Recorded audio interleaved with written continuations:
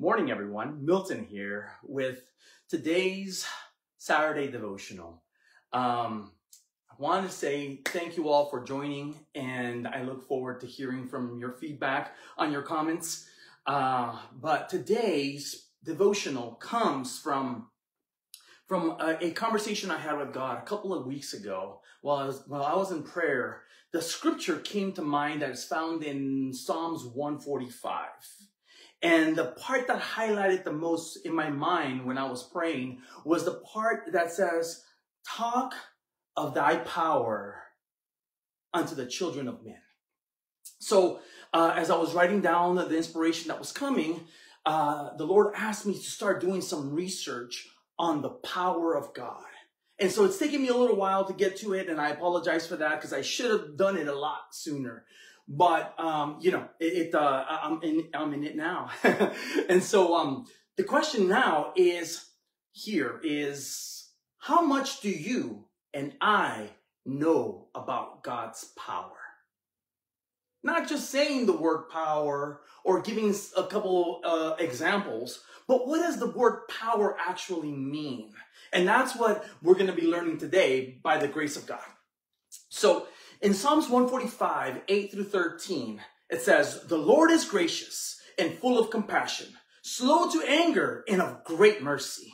The Lord is good to all, and his tender mercies are over all his works. All thy works shall praise thee, O Lord, and thy saints shall bless thee. They shall speak of the glory of thy kingdom and talk of thy power, to make known to the sons of men his mighty acts and his glorious majesty in his kingdom. Thy kingdom is an everlasting kingdom, and thy dominion endureth throughout all generations. So that's one of Psalms 145, 8 through 13. Like I said, the, the part that really stood out to me was, and talk of thy power. Why? And the reason why is right the following verse right after it says, to make known to the sons of men his mighty acts and the glorious majesty of his kingdom. So today, I guess we're going to be talking about to hear and to respond to what we are being taught or what we're hearing. So the word power, right? Let's start with the word power. The word power in the Hebrew back in the Old Testament, the word power is palah. I'm hoping I'm pronouncing this right. It's palah. And it, it's, it's the word for miracle, actually.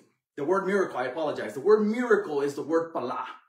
And it means something marvelous, wonderful, surpassing, and extraordinary that is beyond one's own power to perform.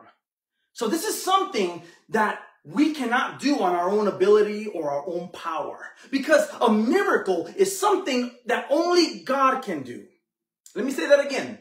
A miracle is something that only God can do. I can't perform miracles. You can't perform miracles by the power of your own will, by the laying on of hands, by your own holiness and righteousness, like the apostle said when he said to the man that they healed the sick, and said, it's not by my own holiness or righteousness that this man is made whole, but it became a testimony or a platform that they might be able to express the gospel of Jesus Christ and by whose power they were able to heal the sick. Let it be known that by the name of Jesus that this man stands today who once was lame, who once was paralyzed is now standing here dancing and praising before God and all of everyone else in the gate. So the other word, the old, uh, the, the Old Testament word for miracle is also mopheth. I'm hoping I'm pronouncing that right. And that word for miracle means a wonder as a special display of God's power and a sign or a token for a future event. Once again, it means a wonder as a special display of God's power. That's what a miracle is. It's a display of God's power. And in the New Testament, there are two different words. There's, there's, I'm sorry, there, yeah, there are two different words for the word um, miracle. That is uh, semeion I'm, pronoun- I'm hoping I'm pronouncing that right. It's a Greek word that means miracle, and it means a sign, a mark, a token, or a wonder. Miracles and wonders by which God authenticates the men sent by him or by which men prove that the cause they are pleading is God's cause. Miracles and wonders as signs of divine authority. That's what the Strong's Concordance says about the word miracle in the New Testament, the word semeion. It's a mark or a token or a wonder. Miracles and wonders by which God's, God authenticates the men sent by him or by which men prove that the cause they are pleading is God's cause. The other, uh, and actually I, I looked up the, the, word miracle also in the Webster's dictionary, and Webster's dictionary eh, um, defines miracle, the word miracle, as an extraordinary, unusual, or outstanding event manifesting divine intervention in human affairs and taken as a sign of the supernatural power of God. Once again, a miracle defined by Webster's dictionary is an extraordinary, unusual, or outstanding event manifesting divine intervention in human affairs and taken as a sign of the supernatural power of God. Because once again, I'm saying that a miracle is only something that God can do. We cannot perform miracles of our own accord, our own ability, our own power, but you have to have power to produce miracles. And so the premise of all of this right here today is this, is that we all are going through things in this life, especially right now, as we're getting closer and closer to the end of days, the end of time, the fulfillment of our redemption, the redemption of our souls. As we get closer and closer, as we inch forward every day with every breath, we get closer to the end. The last days, God's Spirit is being poured out upon all of us and upon all flesh, the Bible says. And your sons and your daughters shall prophesy, and your old men shall dream dreams, and your young men shall see visions. And upon my handmaidens and upon my servants will I pour out my Spirit, saith the Lord. That's also found in Joel 2 and also Acts 2, the fulfillment of that. Uh, which I digress. Uh, in Exodus, where I, I found this uh, study pretty, pretty, interesting. In Exodus, when uh, when the Spirit gets poured out upon the 70 that are appointed by Moses, and then there are other ones who start prophesying and start working among them. So some some of the 70 they come and they, they start griping to Moses and saying, "Hey, these guys here that you didn't appoint." that I didn't see them standing in the line or around in the circle around you. They're, they're prophesying and they're doing all these different things.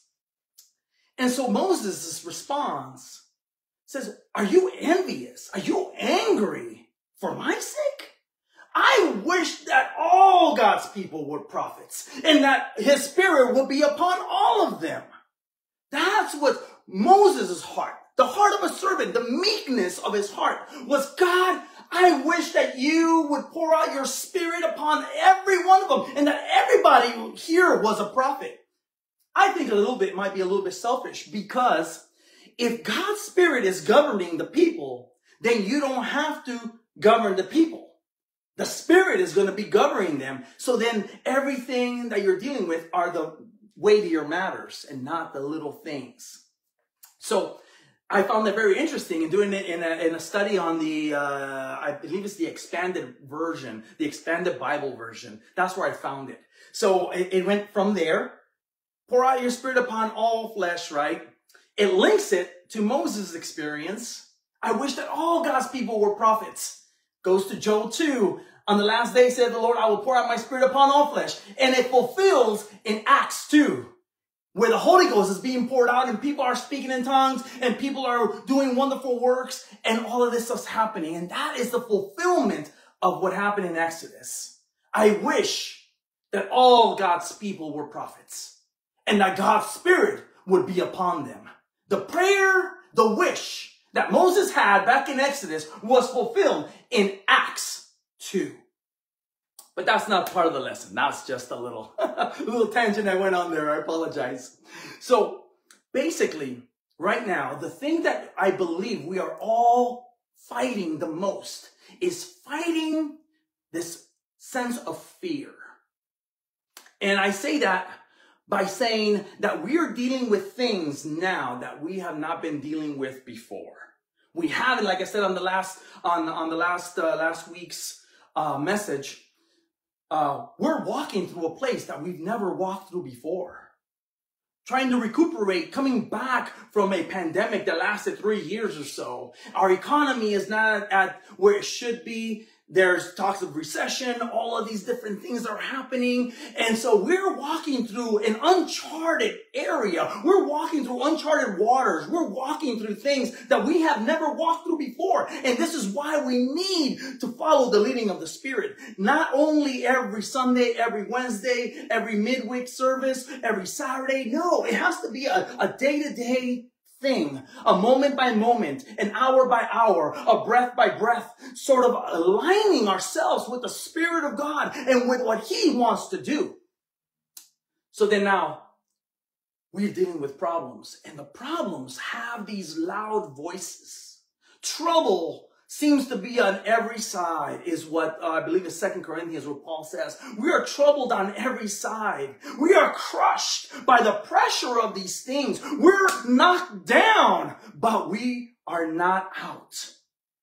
We may be pressed on every side, but we are still standing, not by our own power, not by our own might, but only by the Spirit of the Lord can we stand one more day the reliance or the dependence on his spirit. This is why we're walking in uncharted territories because we don't know which way to go. We have to rely on the voice of the Lord guiding us and leading us every step of the way. On, I believe it's in uh, Exodus 14. Pastor Manzano shared this uh, this um, this message when I first got to uh, Rushing Wind. Oh my God, maybe about five five six years ago.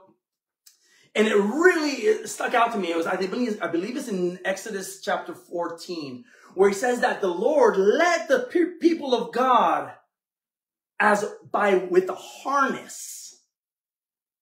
And he was leading them with a harness. So if you imagine an apparatus you put around yourself and it has a tethered line. And so he's leading them with an apparatus. You can only come wherever I lead you. You're coming this way? No, now you're coming this way. I am leading you with an apparatus in a harness. He was leading the people of God with a harness. And that, in my mind, is what the Holy Ghost does. He leads and guides us into all truth. He is leading us as with a harness. The Holy Ghost inside of us is literally the harness that leads us into all truth in the direction that we should go. Turn right, turn left, turn left, repent. So that is what the leading of the Holy Ghost is and now in the believers. So I go back, right? The challenge is here's the problem that we are considering all of the problems, all of the trials, all of the troubles, all the tribulation, all of these things, the impossibilities that are coming against us and we're trying to fix them on our own ability. We're trying to maintain and we're trying to move forward. We're trying to do what we can do on our own ability. But our own ability based on this we're facing things that are impossible. And the things that are impossible with men are not pos- are not impossible with God. The things that are impossible with me are not impossible with God. All things are possible. So now what needs to happen is I need to reach I need to reach for the power of the Holy Ghost because that is what's going to make the difference in every situation, in every outcome. I will have the victory because I have the victor living inside of me. And so what needs to happen is I need to let him speak. Ergo, the beginning of the scripture, talk of thy power. Talk of thy power. Because why? Because when people start hearing about the power of God to deliver, when we, people start hearing about the power of God to save, to heal, to raise the dead, then that's their faith starts to grow. And there is a revival of growth, a revival of faith inside of the people. Why is that so important? Because the Bible says that when Jesus comes back, will he find faith on the earth? And another thing that's very important is because where their faith is, there is righteousness. God imputes righteousness where he sees faith. I have faith to believe and therefore I am counted righteous. And now the prayers of a righteous man avails much. If I come to God in my unbelief, if I have come to God in my doubts, then I am not considered righteous. So therefore I need to have faith. And this is why it's so important to have that personal communication, that personal prayer time with Jesus, because that's when the Bible says it's a rhema word. The rhema word I'll tell you what. Let me go back. Uh, it says, um, man shall not live by bread alone, but by every word that proceedeth out of the mouth of God. That's in Matthew, I want to say Matthew 4, 4, right? New Testament, right? That word there is, uh, the word, man shall not live by bread alone, but by every word. That word, word, is in the Greek, rhema. Man should not live by bread alone, but by every word that proceeded out of the mouth of God. The connection here is in the Old Testament. Because in Deuteronomy, when God is testing the people of God, he gives them manna from heaven. he says, you guys are going to gather once a day and twice as much on, on the Sabbath day to last you the following day. To test them and prove them whether they would be obedient. Now, this was not part of the message or the thought, but I'm just kind of going with the flow. So, that word right there was the manna. And then he says, he proved them to teach them that man shall not live by bread alone, but by every word that proceedeth out of the mouth of God. Deuteronomy, Matthew 4 4. So the definition here in the Greek, that word is rhema. So he was literally feeding them rhema. The rhema word, the bread of life. Jesus was the bread of life. And he speaks rhema words. He is the living logos that speaks rhema words. The rhema words, why is that so important? Because the rhema word actually, the Bible says um, that hearing cometh by the word of God. Faith cometh by hearing, and hearing by the word of God. That word again is rhema. So faith comes into me and it increases the more I listen to the Rhema word. The Rhema word is the word that is being spoken in my ear when I go and pray. When I go and pray and seek God's face and I Tell him all about my troubles, all about my problems, all about the things that are, that are ailing me, the impossibilities that are tormenting me, everything, repenting of my sins, confessing my faults and my failures, asking for forgiveness, that relationship there, then he speaks and he gives me words of encouragement, edification, comfort. And they are not only for me, but they're also for you. And that is what the beauty of all of this is. We become the oracles of God. We become the speaking voice of God, that we start echoing what he says. I am no longer going to respond to the attacks of the enemy on my own ability, but I'm going to use the word just like Jesus did when he was attacked in the wilderness, tempted 40 days and 40 nights. What did he do? Did he speak his own word? No, he said, it is written, man shall not live by bread alone by every word that proceedeth out of the mouth of God. It is written, thou shalt tempt, thou shalt not tempt the Lord thy God. And him only shall you serve. You shall not serve any other gods. Right? So we have the written word and we start memorizing that word to hide it in our hearts. The Bible talks about it in Psalms. It says, thy word have I hid in my heart that I might not sin against thee. So when we stop meditating on the word, when we stop memorizing the word, when we stop declaring and confessing the word, that's when we start falling into these dark areas of temptation. Because it's black and white, but then somehow we start going into the little gray areas of life. It's not so bad. It's only a little thing. It's not a big deal. And the biggest lie we tell ourselves, I can handle it. I can handle it. This is not that bad. I can handle this. Now, if it was somebody else, a new saint, a new convert, somebody younger, that would be a problem. But I can handle this. This is only a little thing. But that little thing starts growing and growing and growing and growing until it becomes a stronghold in our lives. So how do we do this? What we do is we need to confess the same thing that we did in the beginning, repenting of our sins, confessing. That is what we need to do every day to stay clean, to stay clear, and to be aligned with God's heart, God's face, God's spirit.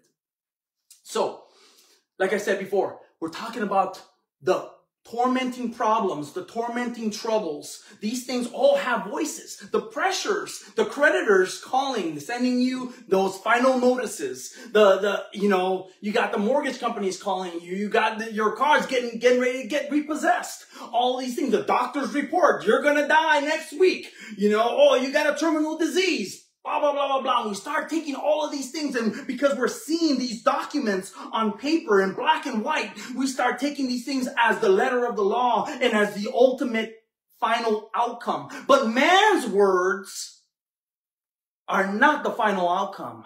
It's what God says that it actually matters and his is the final decision. So, like I said, we need to compare our problems to his power not to our own ability. It's the devil's trick to try to get us to do things on our own ability, on our own accord, and our own righteousness, right? So then that way he directs the fight toward us. And we, in ourselves, our flesh is too weak to be able to sustain that. But we always need to point to the cross as the source of our righteousness, as our source of our justification, as the source of our power and strength, not by might, not by man's power, but only by the Spirit of the Lord. And that's how we succeed. So the problems, just like David faced the giant, and that giant was voicing out, bring me a man that we might fight.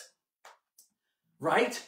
He took away the power of the army, an army against army, and he says, no, let's make this personal. Let's make it me against you. And that's what the devil does. He wants to try to make it him against you. Let's go. He knows he has more training, more time, more practice doing this. He's tried it on kings and succeeded in deceiving kings. He's tried it on prophets. He's tried it on powerful, noble men, and he succeeded. So he has this over sense of confidence that oh, I can take him on. I can take her on. I'll deceive him. So I'm going to make this personal. It's just you and me. We're going to go toe to toe. Let's go. But the Bible says that we are to be hid in Christ. That's where our safety is. To be hidden in Christ. And then when he appears, we shall appear with him also. We are to be hidden in Christ. We who are baptized into Christ have put on Christ. That means I have stepped into Christ. Like I put on a, like a, like a sweater or I put on a jacket. I'm baptized into my jacket. I put it on. I put on Christ. So now I'm inside of Christ, right? That's where the power is. Being inside of Christ and not coming out from the, from the hiding place because he is my hiding place. Psalms 91. The hiding place is found in Christ. That's revelation because I never actually thought about that before. But uh, that is a revelation there. Psalms 91. Hidden in the shadow of the Almighty.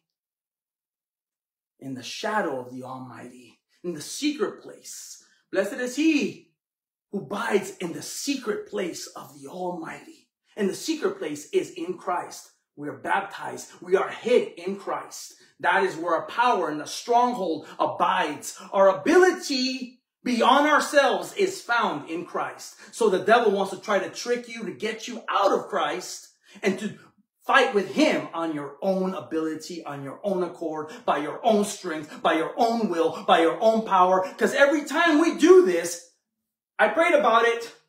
But I'm now I'm going to take matters into my own hands and I'm going to tell that person where to go. Every time we do that, we lose automatically. We already lost. Even if we thought we won, we lost. Because every time we take on the fight, that God is fighting for us. He cannot fight for us if we are fighting the same battle, defending ourselves. He cannot defend us if we are defending ourselves. We have to stand still and see the salvation of the Lord. It doesn't say go and fight with these people. It's stand still. Don't respond to the accusations, but rather praise. Like in, uh, I believe it's Second Chronicles 20, uh, where Jehoshaphat wins the fight and he sends out those singers. He appoints the singers and they start saying, Blessed be the Lord, for his love endureth forever. For his love endureth forever. As the worshipers and praisers started to sing, the Lord sent a blanket of confusion about the conspiracy and the multiple armies that were coming against them.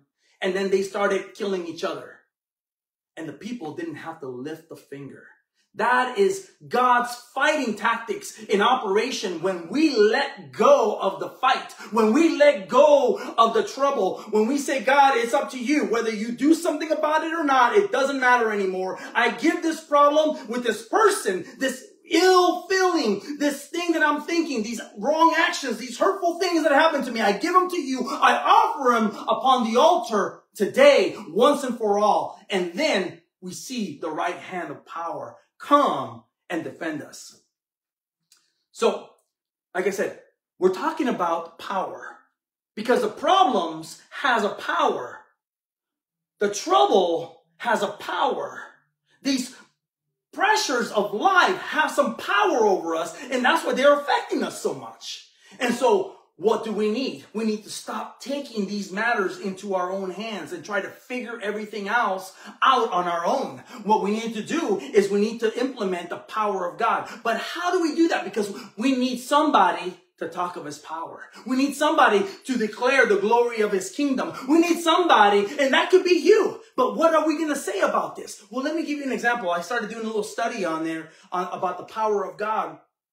Uh, and it talks about the miracles. Uh, Strong's Concordance again, you know, uh, it, it, says uh, the miracles of the Old Testament. And it starts, I'll give you just a couple of them because I, I, know the time is short. Uh, examples of the Old Testament miracles. The first one that comes up is creation. Creation itself, the fact that you and I are here, spinning around at whatever speed the earth spins around, around the sun every year he hangs the earth on nothingness. And so the power of creation, how did he create? He spoke it into existence.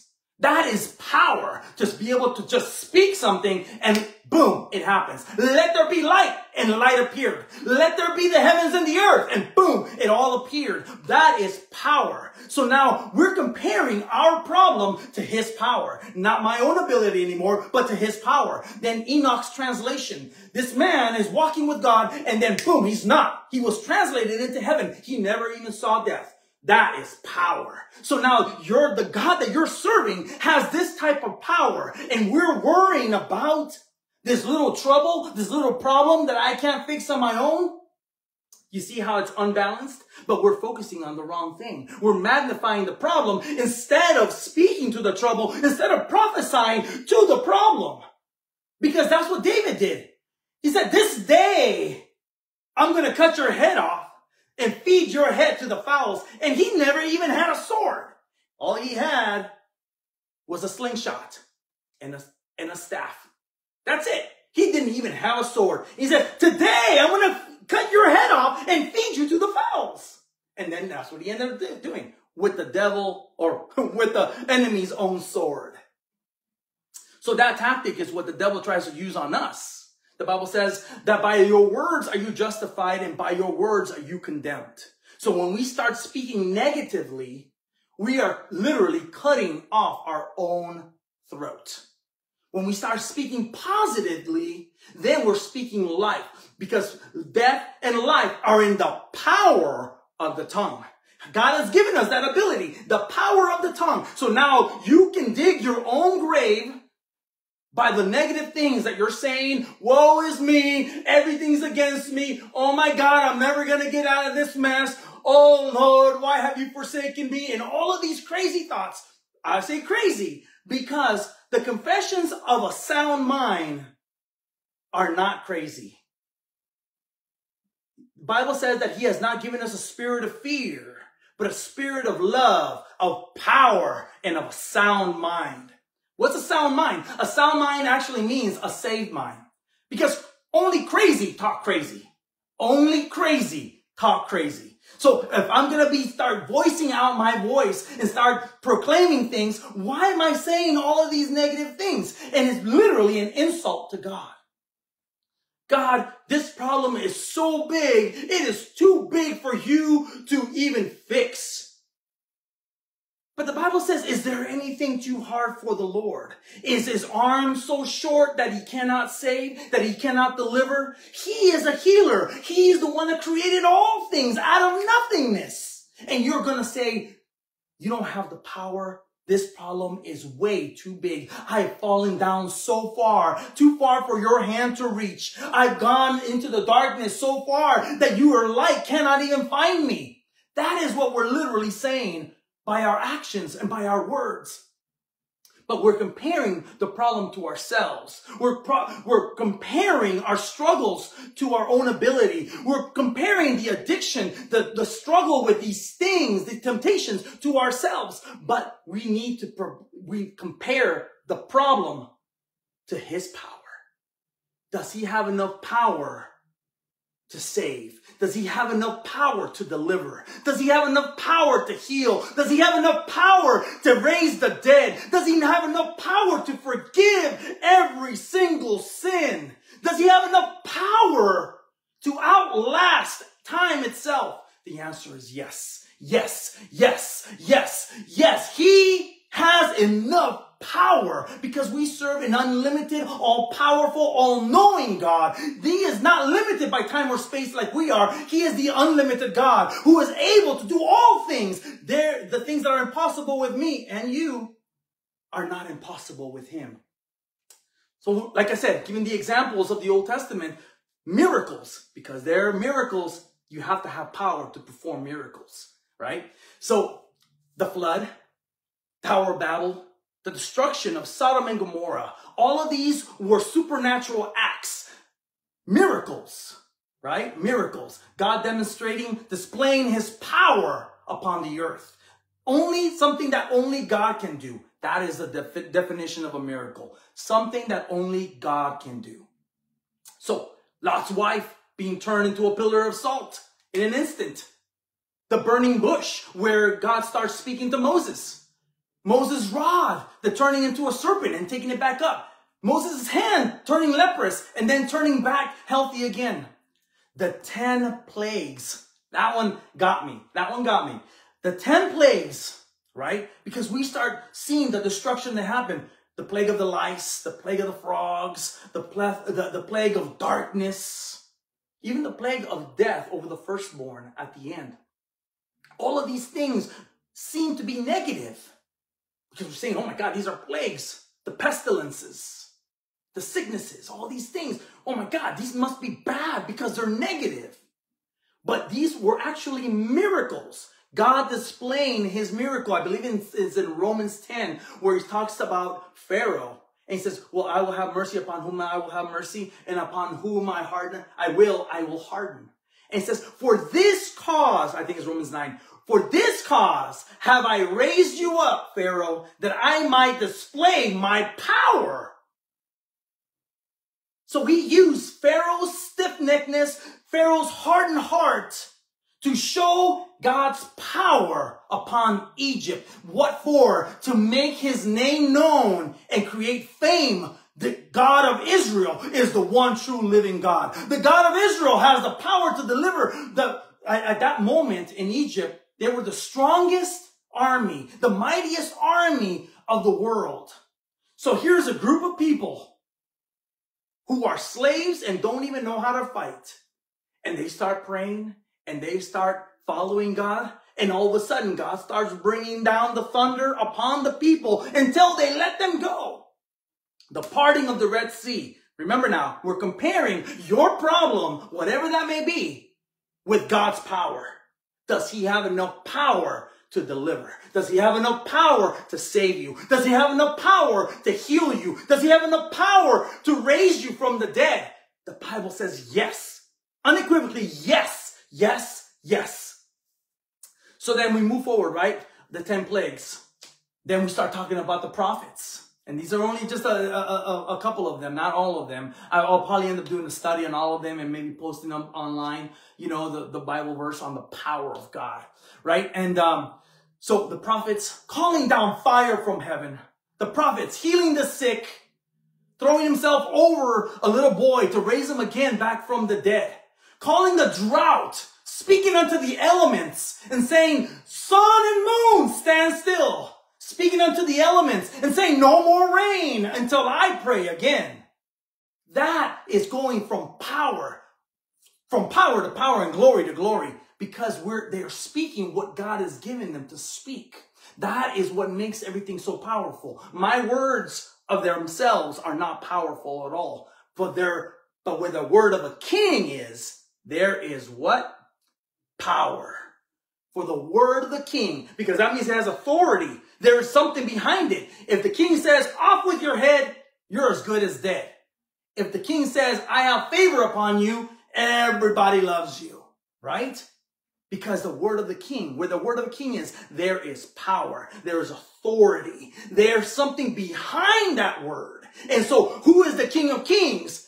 The Lord of glory. He is the king of kings. And when he says, you will be healed, you will be raised from the dead, this terminal disease is not going to terminate you, but you're going to rise up again. I am allowing these things to happen to bring about a, a, an audience. This might be the purpose of the trial and why God has not actually healed you yet. It's because he's bringing an audience. He's bringing an audience. He's waiting to see what's going on here and bringing a bunch of people, call them the looky loos, see what's going on here. Oh, see, they've been praying about this thing and they've been fasting about this thing. They've been pouring, pouring oil upon that person for years now. But one day, after enough people have been gathered, God will bring and perform the miracle in front of all of the unbelievers that they might see the power of God to deliver, to heal, to raise the dead from the deathbed. I'm just crazy enough to believe this. Now, I said we're talking about miracles. We're talking about the power of God. And the reason why they're two connected is found in, in the, the other definition that I'm going to say right now, uh, doing the word miracle, right? Defining the word miracle, which I already did a lot of the words miracle. Then the last one I'm going to do is the word dynamis. Dynamis. You guys probably have heard this word before, dynamis, which it basically means is where we get the word dynamite. And it's very used, often used uh, in Acts chapter 1 and chapter 2, and also in, uh, in Luke. Luke 24 says, Jesus said, Behold, I send the promise of my Father upon you, but tarry ye in the city of Jerusalem until ye be endued with power from on high. That word is dynamis. Consequently, it's actually the same word as miracle.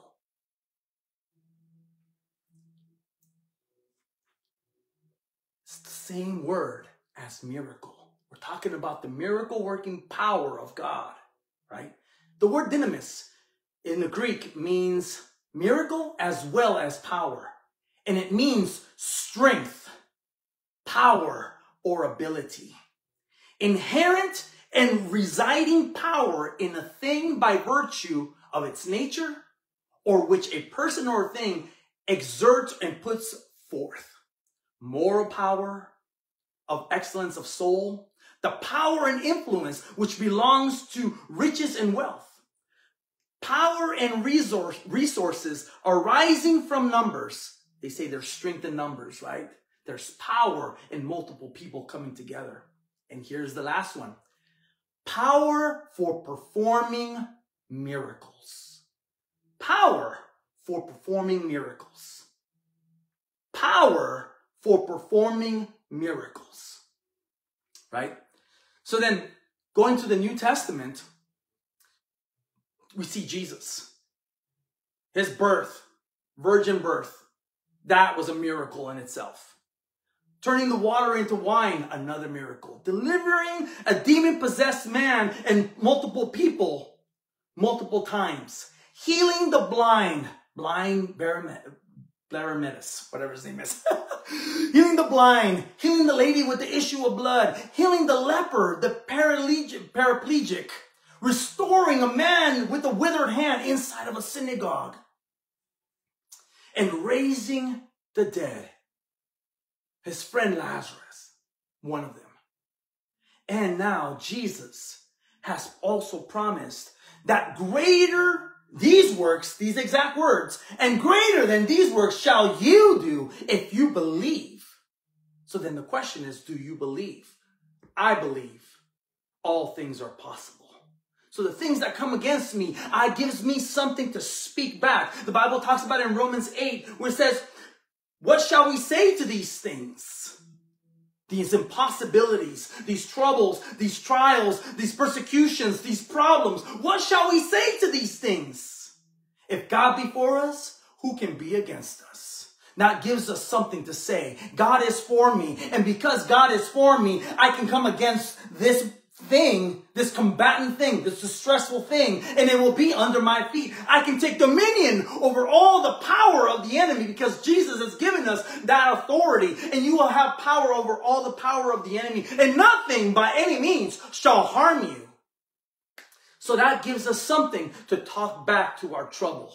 We have the word of the Lord. We have the promise to profess. We have the word of promise to proclaim. And so we can prophesy to our problems. We don't have to just sit there and be tormented. Because as long as we keep our mouths shut, then the enemy can just bombard our minds with all of his thoughts of defeat. But the word of the Lord and the Lord of the, the Lord God Almighty that resides in us, he's not there condemning us. He is our justifier. He is not condemning us. Those are the words of the enemy, condemning you, trying to hold you down, trying to hold you back, trying to keep you quiet because you need to speak to the enemy in the gate.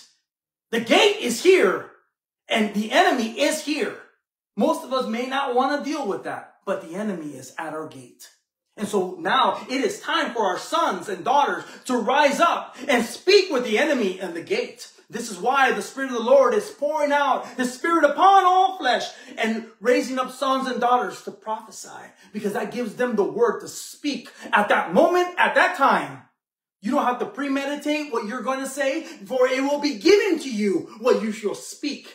And the words that you speak, the gainsayers are not going to be able to gainsay nor resist because you're speaking with wisdom that is beyond your own. It's not man's wisdom. It's not earthly wisdom, but it's a heavenly wisdom that you're speaking through and you become an oracle and you become a conduit and you allow God to speak through you. And that, that when you allow God to speak, the word of the king is going forth with power.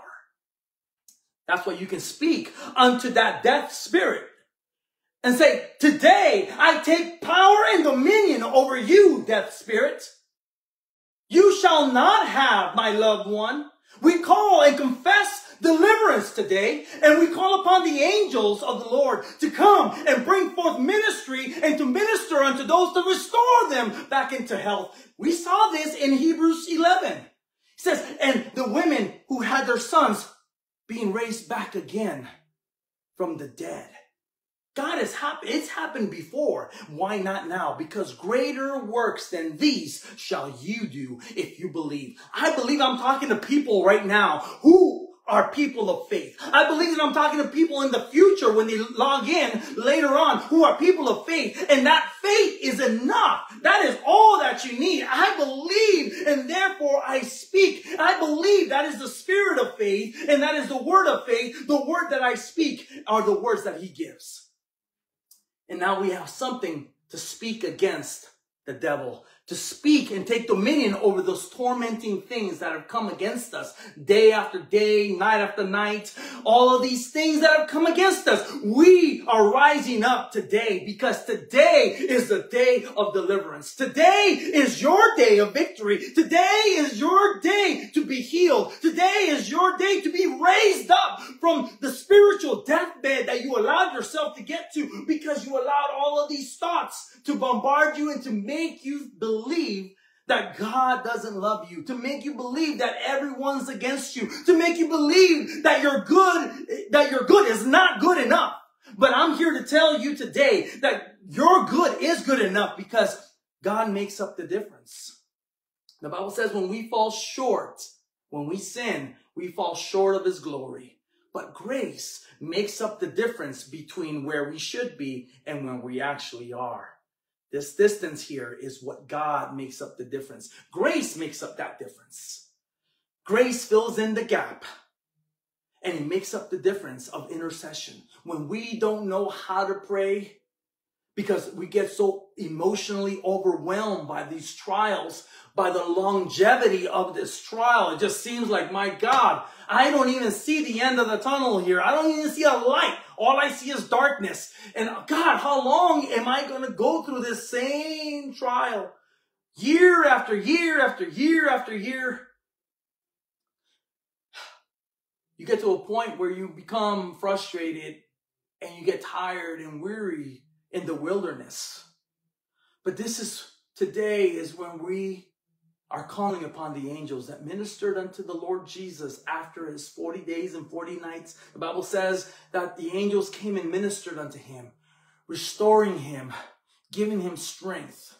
So right now, I'm calling upon the angels for you, in intercessory prayer for you. You who are listening right now, you who are watching, and you who are watching the future. I'm praying for you right now that the Lord bring an angelic host to come to your home or where you are right now in intercessory prayer that they may lift up your hands because your hands are weak. Strengthen your, your knees because they're getting knobby and they're getting wobbly. But God sees where you are right now and you are not forsaken. You are not a lost cause and you are not left to die in the desert of loneliness. The Lord knows exactly who you are and where you are. And right now, He is dispatching an angelic host to come and give you the grace that you need. You don't have to walk around browbeating yourself, condemning yourself for every fault, every failure. You can abide in confidence that you are justified. You are made righteous, not because of anything that you did, but because what Jesus did on the cross once and for all. That's the source of my justification.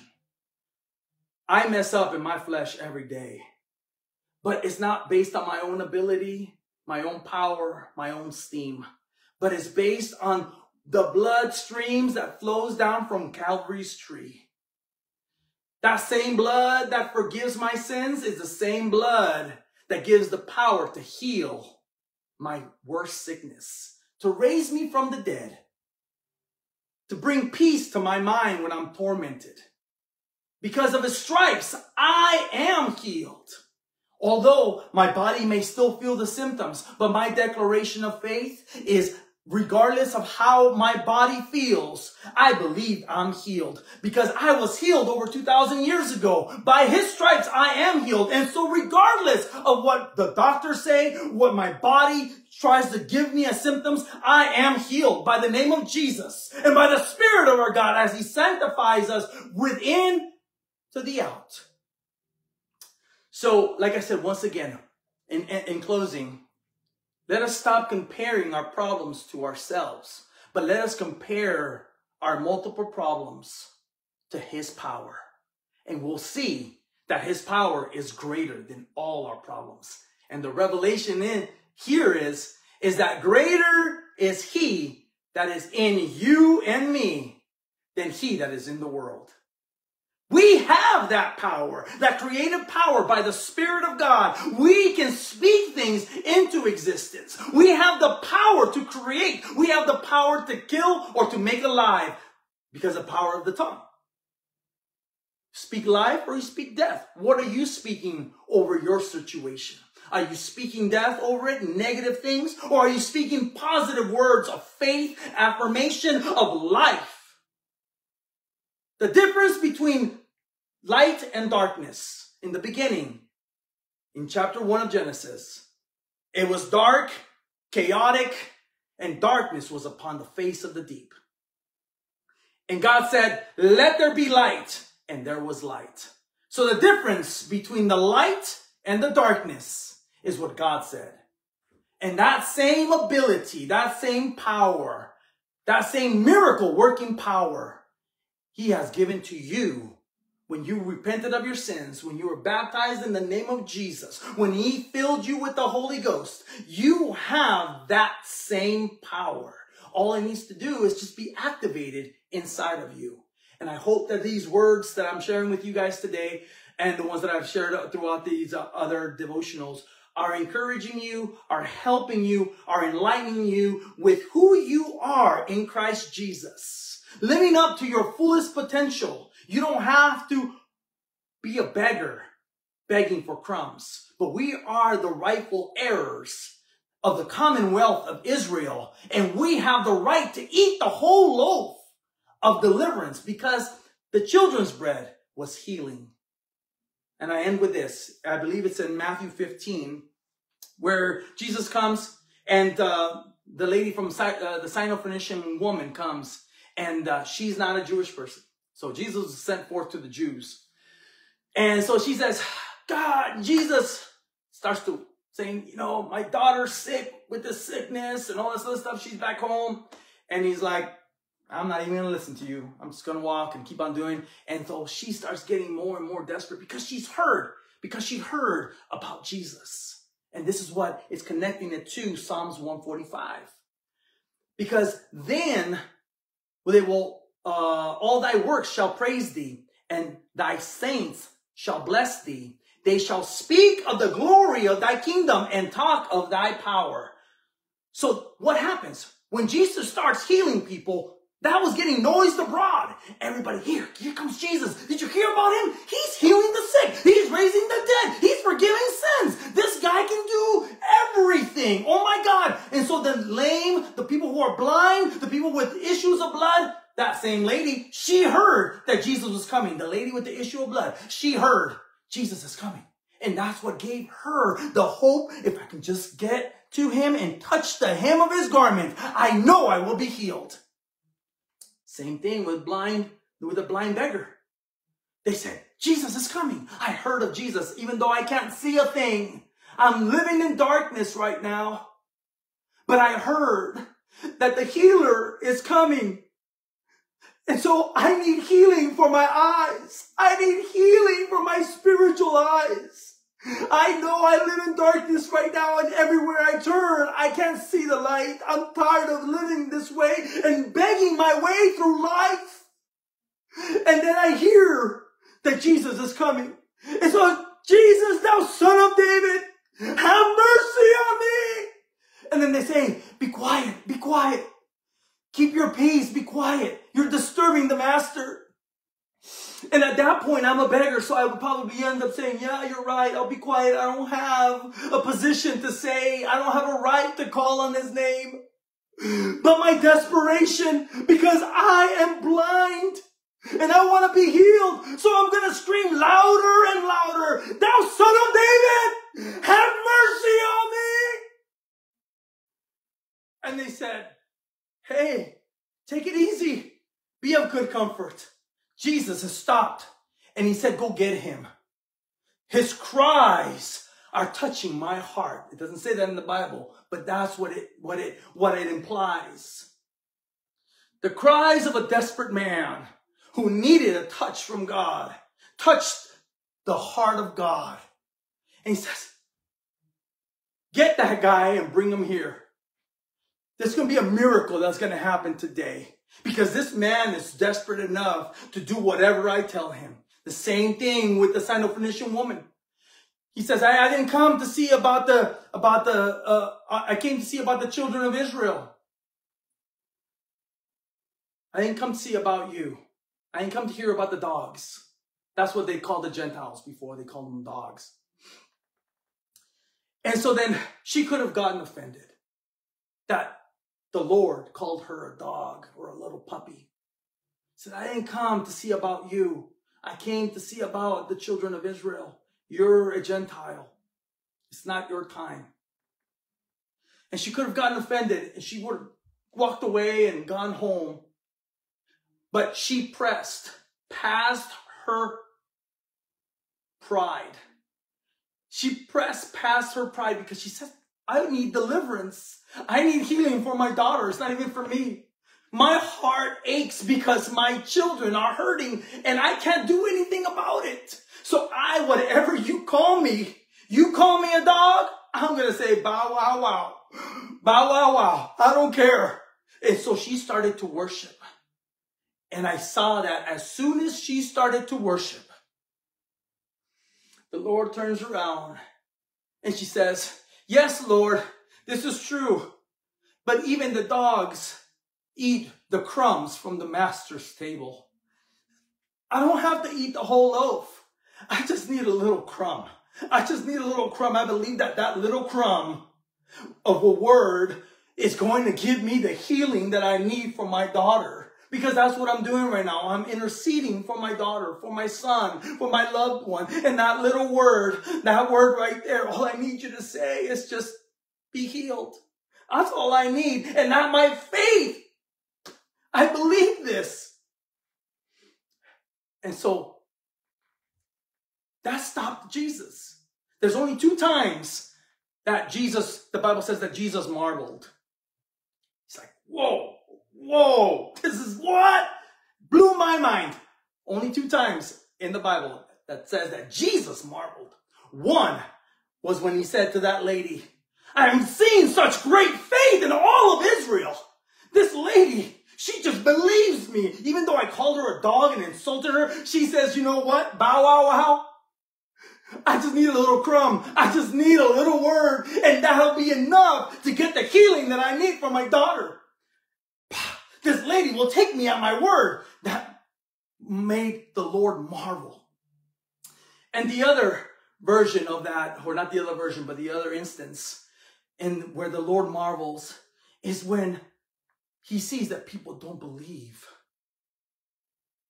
And he marveled at their unbelief. You must not know who I am. Nothing is impossible for me, and you don't believe that I can do this miracle? That's the second time that he marveled. What?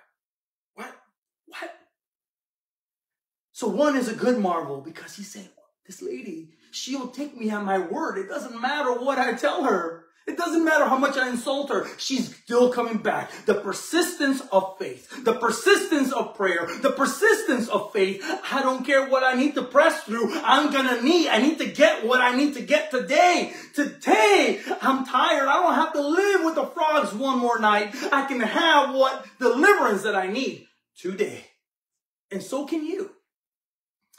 So, like I said, let us compare, stop comparing the problems to ourselves and our own ability or our friends or our loved ones' resources to help. But let us start comparing our problem to his power. Does he have enough power to overpower our problem? The answer is yes. And he lives inside of you, inside of me. And we have to activate that voice. Just echoing and voicing out what he says. And that is where we will find our strength, our power, our ability, because we believe. So with that, I leave you today. Thank you again for bearing with me. God bless you guys. I'll see you guys, Lord willing, next Saturday.